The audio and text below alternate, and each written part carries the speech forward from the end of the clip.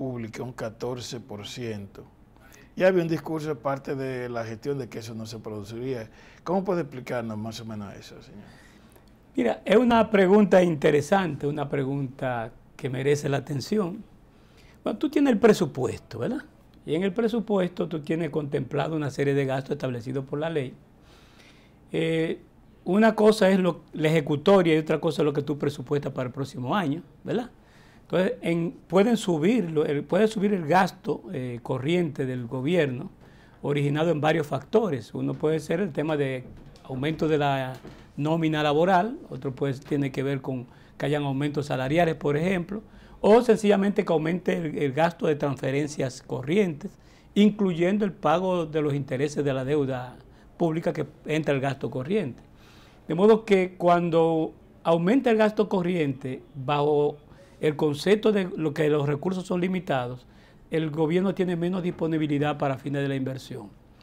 Yo siempre insisto en la necesidad de que los gobiernos puedan establecer una especie de estructuración del gasto público, pensando no solo en el corto plazo, que son en este caso los salarios y los empleos públicos, sino pensando en el largo plazo, que es a través de este caso, en este caso de la inversión real, de la inversión eh, que crea capacidad productiva en la economía y que establece un contexto y una capacidad de servicio a través de la infraestructura.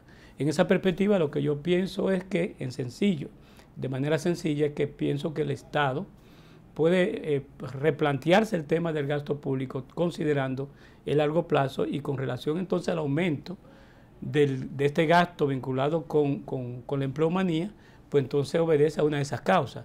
Ahora, el año que viene, eh, que también ya está, está elaborado el presupuesto, eh, el Estado debe realmente manejarse con una estructuración del gasto, considerando que el mundo está pasando por un contexto bastante delicado y que todavía vamos a continuar para el año 2023. Fíjese, a propósito, usted refiere al tema del presupuesto. Eh, ha habido críticas de parte de sectores de la oposición que a propósito de este tema, por ejemplo, como el del viernes, son las experiencias que se dan de crisis, eh, a partir de la intervención de la naturaleza, como que el gobierno redujo unos 300 millones de pesos para esos aspectos de la crisis, ese fondo que hay en el presupuesto.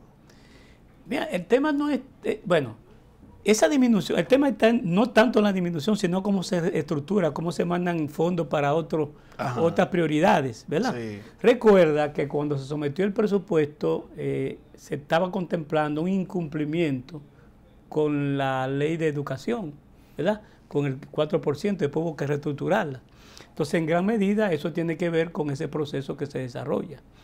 Eh, ¿Por qué? Porque en definitiva el gobierno se ha visto en la necesidad y así lo ha contemplado en cumplir con el presupuesto, con el presupuesto del gasto. Ahora, con relación al tema de disponer de un fondo para, para crisis, recuerda que lo que se establece siempre es un fondo en base a, un monto determinado siempre y cuando el gobierno se mantenga por ahí, lo cual ese porcentaje, ese monto, si tú lo referencias al, presupuesto, al, PIB no es que tan alto, entonces en definitiva yo pienso que es importante, pero no podemos decir que es un tema de violación de un criterio, porque el gobierno dispone de fondos para poder enfrentar situaciones de crisis. Bueno, ahora está, fíjate cómo está con respecto a todo, todo el tema de la situación atmosférica que pasó por el país y ha declarado incluso estado de emergencia frente a esa situación. Frente a los hechos del mundo, don Nicolás, y le voy a pedirle cosas porque yo no domino eh, su área, que es fundamental. Ese tema de la evolución del dinero y de la economía, a propósito de que uno ve los comportamientos que se han dado en la economía norteamericana, eh, los temas que hay con Europa, es decir, la grande potencia. ¿Cómo pudiéramos nosotros referirnos con esa evolución del dinero y la economía? Sí, y mira que tú utilizas la palabra adecuada, evolución. En economía todo tiene su historia. O sea, la forma en cómo se hacía eh, política económica, en este caso política monetaria, digamos, eh, en el siglo XVIII, en el siglo XIX es totalmente diferente como ahora porque las cosas van evolucionando debido a los ensayos que hacen los gobiernos y, los, y, compararlo con los resultados que logran. Por ejemplo, en su inicio, eh, un economista muy famoso le daba relevancia al tema del dinero, pero existía una concesión de que no todo se podía llamar dinero. y esta es una palabra interesante, porque para que algo se pueda llamar dinero, tú sabes que tiene que tener tres funciones fundamentales, que es ser medio de cambio, que es portar valor y que es ser unidad de cuenta. Entonces, ¿qué pasó? Durante toda una época, cuando se comenzó a darle importancia al tema del dinero y al tema de la política monetaria, se pensó que cuando el gobierno, en este caso la autoridad monetaria, aumentaba la oferta de dinero, eso podía conducir a un proceso inflacionario. Ahora, realmente eso es lo que más solemos decir en el lenguaje académico y en el lenguaje comunicacional. Pero realmente lo que planteó la teoría de Hume fue que puede tener también un, impacto en la producción en el corto plazo. Y entonces comenzó a darse la importancia al tema de la cantidad de dinero, que se circulaba y, también la cantidad de dinero que se demandaba. Eso fue toda una parte del inicio de, la, de, toda esta historia que se, se, fue desarrollando. Luego apareció un norteamericano que se llama Fisher, que estableció una formulación matemática y cuantitativa para establecer esa relación. Y por primera vez comenzó a incorporar un elemento básico que no fue donde se dedicó a la profundización, pero que sirvió de base para el próximo desarrollo, que es el tema de las expectativas. Es decir, en qué medida nosotros comenzamos a visualizar cambios en la demanda de dinero que pueden tener implicaciones en los precios, habida cuenta de que hay una relación entre la oferta de dinero y la demanda de dinero. Se supone que en el corto plazo, si tú aumentas la oferta de dinero, la tasa de interés deben bajar y la demanda de dinero subir. Pero también se sabe que la demanda de dinero puede subir no solo por eso, sino porque haya aumentado el nivel de actividad económica de la sociedad. Entonces comenzaron a preocuparse por esa relación en el corto plazo entre la oferta de dinero, los, la tasa de interés, la demanda de dinero y el nivel de producción, ¿verdad? Pero las cosas no terminan ahí, porque luego viene toda una corriente de pensamiento y comienza a ponderar una vinculación entre lo que es la política fiscal y la política monetaria. Y esa, eso surgió a partir de la Gran Depresión, que tú has hablado muchas veces de eso, de la Gran Depresión del año 1929, tanto todos ustedes han comentado mucho eso, y comienza entonces una nueva corriente a replantearse. Pero nada de esto se puede ver al margen de lo que son los patrones monetarios. Tú sabes que hasta la Primera Guerra Mundial, el patrón monetario dominante era el patrón, de, el patrón oro. Y eso planteaba un problema de cómo manejarse con la política monetaria. ¿Cuál era? Bueno, que para tú aumentar la oferta monetaria, tú tenías que tener una entrada de oro, porque el oro era el dinero. Entonces, si tú no eras productor de oro, tenías que importar oro. Y entonces te planteaba una rigidez en materia de la política monetaria que tú no podías en su, totalidad controlarla. Pero después de la segunda, de la Primera Guerra Mundial se dio un proceso de transformación, incluso de cambio de liderazgo mundial, y poco a poco el mundo fue cediendo, y sobre todo cuando llega la Gran Depresión, hacia un patrón de cambio oro. Y ese patrón de cambio oro era porque ya había, anteriormente había surgido el billete moneda. Entonces ese billete moneda que surgió a finales del, siglo XIX ya le permitía a las autoridades establecer una política monetaria más lazas. En ese sentido, aún todavía sigue manejándose la política monetaria, no como se sigue, ya como se maneja hoy. Porque como era un patrón de cambio de oro, que fue donde surgió incluso el dólar como moneda del, líder mundial, y que entonces todos los países fijaban sus monedas, sus reservas en dólar y en oro, todo eso fue evolucionando hasta que en 1973 se dio una crisis importantísima en materia de patrón, de patrón monetario y en materia de política monetaria. Pero lo que quiero llevarte la atención es que comienza poco a poco a basar el concepto de las expectativas y es a partir de, los, de, la década del 80, sobre todo del 80, y ya para inicio del 90, donde ese panorama cambia totalmente hacia el concepto de manejo de la tasa de interés como instrumento de política monetaria, que es realmente la pregunta que tú estás haciendo. Y ahí entonces que voy ahora a centrarme en ese punto. Pero enfatizar que primero pasamos por ese énfasis desde la, desde la cantidad de dinero hacia los precios y la producción, ese énfasis hacia el manejo combinado de ambas políticas, fiscal y monetaria, y ese énfasis entonces con respecto al tema de fijación de meta de cantidad de dinero que circulan hacia la fijación de meta de inflación utilizando la, tasa de interés. Y ahí es que voy entonces a hablar. El contexto histórico que vive el mundo es que lo que se está dando en Dominicana también se está dando en muchos países. Se está dando en este caso en Estados Unidos, se está dando, por ejemplo, en otros países de América Latina, y solo en pocos países no se están dando.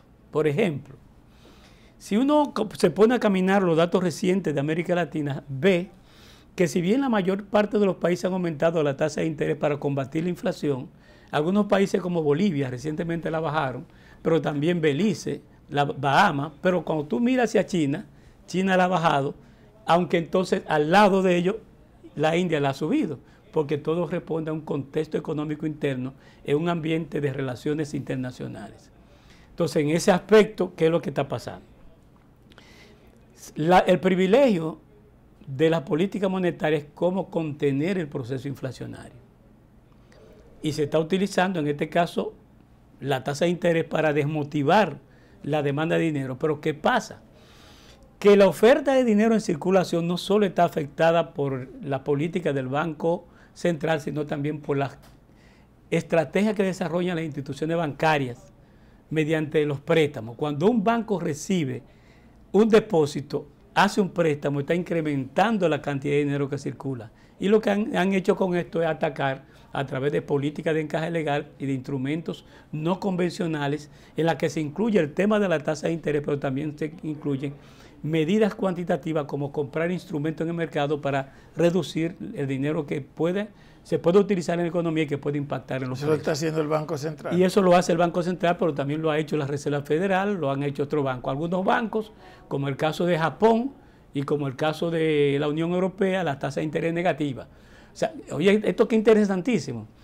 Mientras tú tienes países como los nuestros, que el Banco Central le paga al Banco Comercial una tasa de interés por llevar su dinero al Banco Central, en Europa y en Japón es lo contrario. El Banco Comercial tiene que pagar una tasa de interés al Banco Central para que le tenga el dinero allá, porque allá lo que se busca es que sea expansivo para que la economía se pueda reactivar. Entonces en estos países se busca que sea recesionista porque lo que se busca es atacar la inflación y se puede hacer porque en Japón la tasa de inflación es bajísima. Sin embargo, en estos países la tasa de inflación es alta. Bueno, fíjate cómo está Argentina. Argentina tiene una tasa de inflación extremadamente alta y la tasa de interés ha tenido que elevarla a más de un 100%. Entonces eso es parte del contexto que se vive, de modo que la respuesta a cada pregunta depende del contexto particular que tengamos en cada país queriéndonos colocar en la calle, no en el aula suya. Por ejemplo, eh, a propósito de estos temas que se ha hablado del oro, ha habido comentarios como de que posiblemente Estados Unidos le estuviera interesando readecuar su política de, eh, frente al dólar y también eh, obtener el tema de respaldo de oro. ¿Es cierto eso? Yo tengo, yo lo veo un poquito más allá. ¿Cuál ¿En qué momento estamos en la historia? Estamos frente a una guerra. Estamos frente a un momento de los conflictos geopolíticos. No sé si viste que hoy China dijo que se estaba preparando para la guerra. ¿Verdad? Sí. Entonces, la disponibilidad de un activo sólido como el oro le da consistencia a una moneda como el dólar, pero también le permite prepararse. Porque imagínate, en una guerra que se pueda desarrollar, si tú vendes muchos armamentos, recibes muchos dólares. Pero gran cantidad de dólares que tiene Estados Unidos en el mundo no está respaldado en oro. De modo que se le puede dar una debilidad muy crónica al dólar en los mercados internacionales, la cual entonces encuentra esa consistencia si Estados Unidos tiene una, una reserva en oro bastante fuerte que pueda darle consistencia a su, a su moneda. Bueno, a propósito del tema dólar, él está hablando con temas de la calle. En el caso de Venezuela, Venezuela tiene una importante suma de dólares que ha estado en Inglaterra y cuando ellos han tratado de reclamarlo, como que le han respondido que no, producto de la división esta que tenían con Guaidó y compañía. ¿Cuál es esa realidad a favor de Venezuela? Tú entiendes muy fácil el tema de Venezuela en el marco de las sanciones que se le han aplicado a países como Venezuela.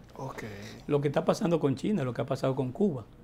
O sea, eh, estas sanciones hacen que te limiten la movilidad de capitales y de flujos de recursos a escala internacional. Entonces hay que buscar la explicación ahí.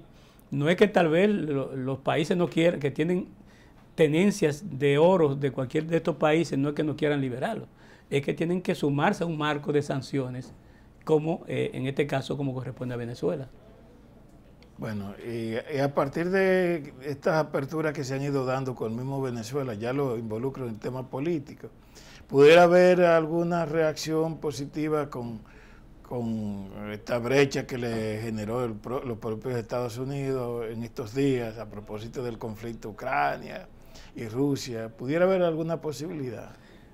Yo diría que lo primero que hay que entender es el mensaje. El mensaje es que los Estados Unidos se mueven a donde sus intereses estén garantizados. ¿Verdad? Sí. Entonces, sabemos que Venezuela es un gran proveedor de materia prima, específicamente de petróleo. Está en riesgo la provisión de petróleo a escala internacional frente al tema del conflicto. De modo que en la medida que Estados Unidos tiene seguridad de petróleo por Venezuela, puede hacer, menos uso de sus inventarios. Porque las reservas petroleras en cualquier país del mundo es un tema de seguridad nacional. Si tú agotas las reservas frente a un conflicto internacional donde el petróleo tiene que utilizarlo para fines de energía, de lo que sea, entonces tú estás debilitando tu capacidad para tener una respuesta resiliente a futuro. Entonces, yo lo veo en esa perspectiva. No lo veo tanto en la perspectiva de qué podría pasar, sino es una estrategia de largo plazo de Estados Unidos, la cual que si, mañana termina la guerra y se vuelve a la normalidad, se vuelve de nuevo a la normalidad contra Venezuela. Y usted está refiriendo eh, al efecto de las confrontaciones que están haciendo eh, Rusia con, con Ucrania. Pero no solo eso, también los conflictos de China y Taiwán tiene que también considerar eso, eso está ahí, y también los, temas de Irán, el tema del conflicto árabe y palestino, todo eso, se, todo, cualquier guerra que se extienda, todo eso va a abarcarlo. Tengo una persona amiga que tiene mucho interés y participación en los temas internacionales y me hacía la observación de que aquí le estábamos haciendo poco caso a la situación de Irán en particular. Ella dice que podía reproducirse por los conflictos justamente de petróleo y de de insumos importantes. ¿Cuál es la realidad de, Irán en medio de este contexto de guerra? La realidad de Irán es que primero Irán es un aliado a Rusia, eh, es, tiene conflicto con los demás países árabes, además del conflicto que tiene con, con Israel. Entonces, la situación de ellos es que tienen que actuar de manera conservadora, ¿verdad? Eh, porque es una situación delicada. Ellos no pueden ellos no, ellos no pueden involucrarse porque no tienen la capacidad de reacción de inmediata. Y tú fíjate lo que pasó con Irak.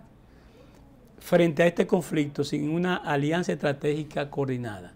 Yo pienso que la situación de Irán es delicada, ese es mi, mi punto de vista, y sobre todo porque ellos tienen, eh, eh, el mundo le está mirando a ellos como mira Corea del Norte.